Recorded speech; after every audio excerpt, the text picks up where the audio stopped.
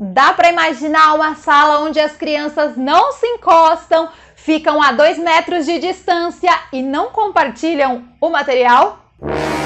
Tá brincando comigo, pegadinho? Eu sei que tudo ainda está incerto, algumas escolas estão voltando para o ensino presencial, outras já voltaram, outras continuam pelo ensino à distância e, independente da forma, alguns hábitos vão ficar com a gente ainda por algum tempo. Por isso, nesse vídeo eu separei algumas ideias de atividades para você ensinar sobre os cuidados que nós temos que ter com o distanciamento social e com o uso da máscara. Eu sou a professora Coruja e seja muito bem-vindo ao nosso canal.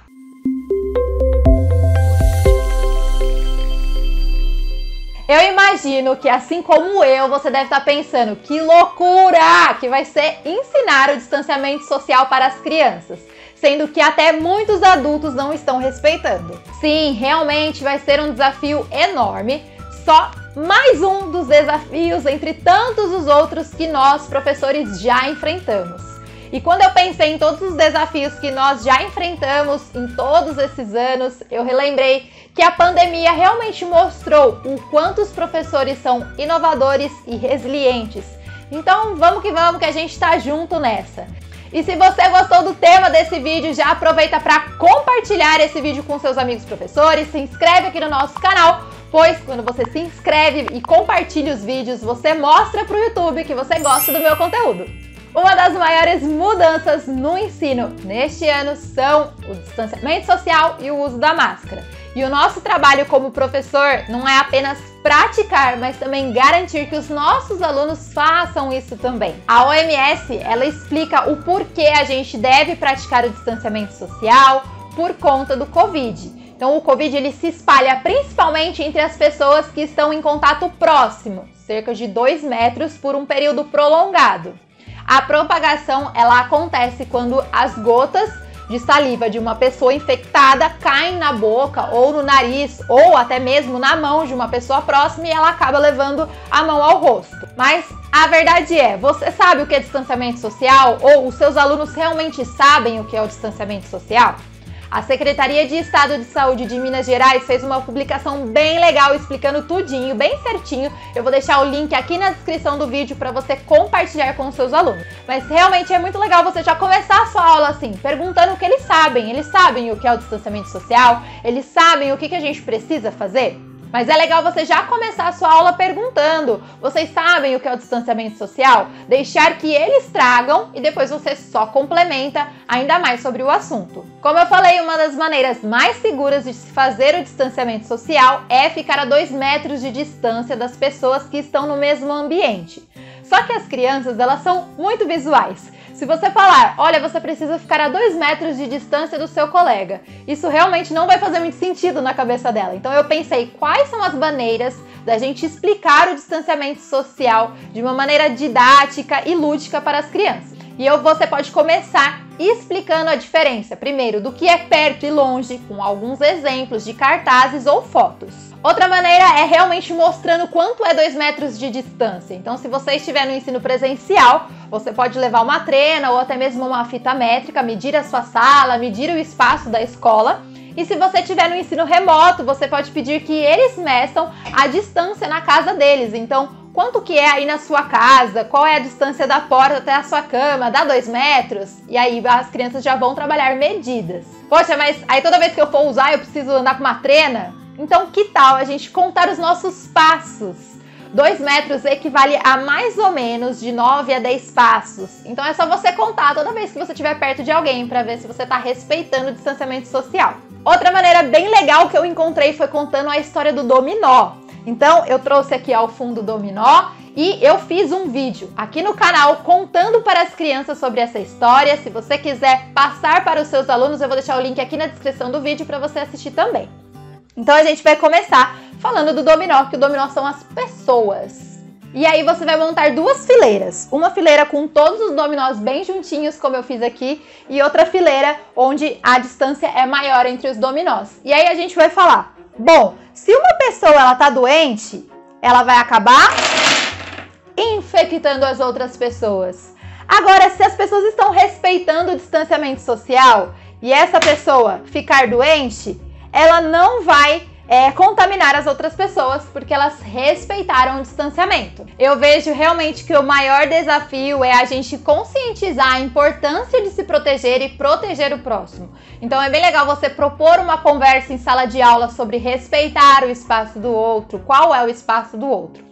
Uma forma bem legal de você mostrar esse espaço é com um bambolê ou até mesmo com um adesivo no chão para marcar a distância que os alunos devem ficar separados. O legal da fita adesiva ou do adesivo é que é um recurso barato e bem visual, então ajuda bastante. E como eu falei, as crianças elas são muito visuais, então é legal você conversar exatamente o que você espera delas, sobre as novas regras da sala. Então eu fiz alguns cartazes é, falando sobre as regras, então as regras de como você usar máscara, principalmente sobre não compartilhar a sua máscara com nenhum colega.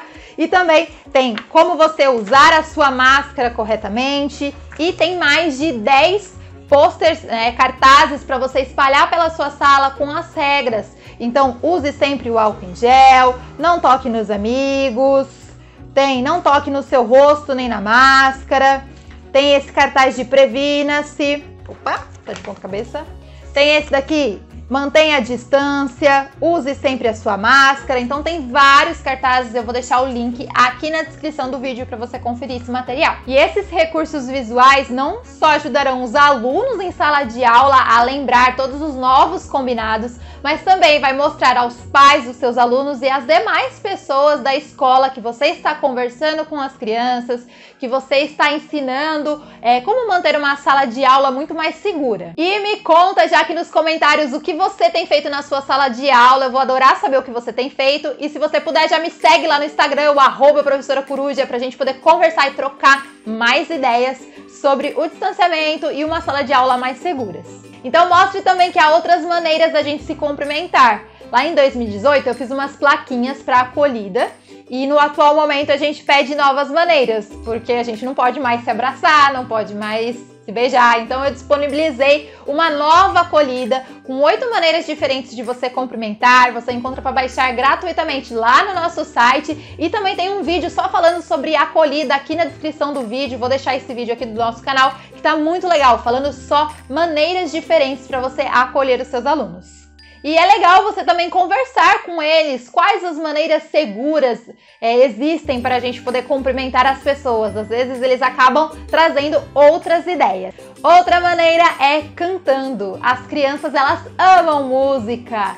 Pesquise músicas com o tema para que elas gravem então as novas regras da sala de aula. O Marcelo Serralva que é um grande amigo da internet, fez uma música muito legal. Vou deixar o link aqui na descrição do vídeo para você ouvir e cantar com a sua turma também. Aproveita para seguir o Marcelo porque ele tem várias ideias super legais. A Pink Fong, que é a empresa que criou a música do Baby Shark, ela também fez uma música bem legal, só que em inglês. E eu também vou deixar o link aqui na descrição do vídeo caso você queira usar. Você também pode dançar. Você conhece a dança da prevenção do Covid? Eu fiz um vídeo lá no meu Rios no Instagram fazendo alguns passos é, para prevenir e agora você pode ensinar para os seus alunos também, fazer com os seus alunos para eles sempre lembrarem de manter o distanciamento, cobrir o rosto e assim nós vamos dominar o coronavírus. Mentira, gente, a gente não vai dominar só com essa dança, então tomem vacina. E outra maneira da gente se manter seguro é usando a máscara. Então eu fiz uma atividade mostrando a importância de usar a máscara e as maneiras corretas de se usar a máscara. Então eu trouxe aqui a primeira atividade, que é sobre a minha máscara, onde a criança vai pintar a máscara, a máscara favorita que ela tem. Ela vai colocar onde eu preciso usar a minha máscara. Eu respondi na sala de, na escola, no mercado e no meu condomínio. E aí a criança pode escrever onde ela deve usar a máscara dela. Como me mantenho seguro? Lavando sempre as mãos? Não tocando no meu rosto? Nunca usando máscara? Mantendo o distanciamento? Abraçando e beijando todas as pessoas? Então a criança vai assinalar quais são as afirmações corretas. E por último, ela vai se desenhar com a máscara. Essa atividade você encontra também o link aqui na descrição desse vídeo. E por trás da máscara sempre tem uma criança com várias qualidades. Então eu fiz essa atividade onde a criança, ela pode, no caso, você pode escrever o nome da criança, no caso da educação infantil, a criança vai se desenhar, então ela tá de máscara, tira.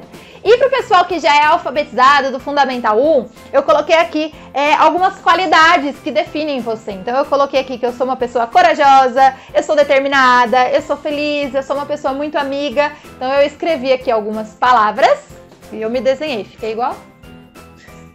Não! E se você gostou dessa atividade, ela é bem facinha, eu vou te mostrar como fazer agora. Então você vai imprimir a folha e agora nós vamos fazer as dobras. Então nós temos uma dobra aqui e uma dobra aqui. Nós vamos começar dobrando.